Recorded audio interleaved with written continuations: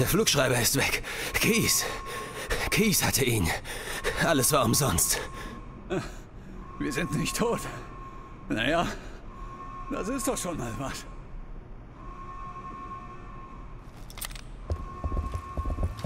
Sephora Actual hier. Tuan, hören Sie mich. Was ist in der Gangway passiert? Actual, wir haben Kies verloren. Ich glaube, es ist etwas in seiner Brust explodiert. Ist Winter bei Ihnen? Ja, Sir. Haben Sie eine Idee zu der Explosion im Brustkorb? Unsere Cheyennes sind unterwegs, um Bodenunterstützung bei der Evakuierung zu geben. Das heißt, wir brauchen einen Landeplatz für etwa 80 Marines. Der Hangar ist unbrauchbar, aber im Frachtraum ist Platz. Verstanden. Unterwegs zum Laderaum. 2-1 over. Irgendwas stimmt nicht. Mir nach.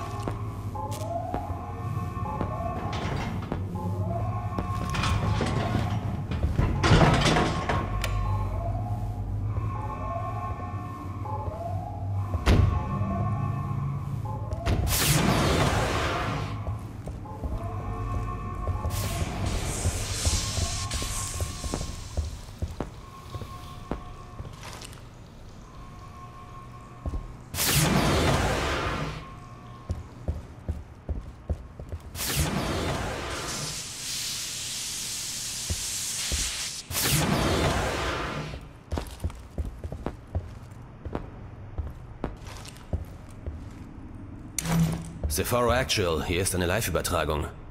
Das ist keine Technik von den Colonial Marines. Da steht Wayu, Sir. Heilige Scheiße. Was? Laut Zeitstempel kam das nach dem Notruf von... Äh, wie war sein Name? Corporal Hicks. Actual, hier ist 2-1. Was halten Sie davon? Sir, ist sonst noch jemand auf dem Schiff? Ich lasse Bishop ein Signal an VU senden. Wir haben keine Zeit, Detektiv zu spielen. Gehen Sie zum Frachtraum. Beide. Over.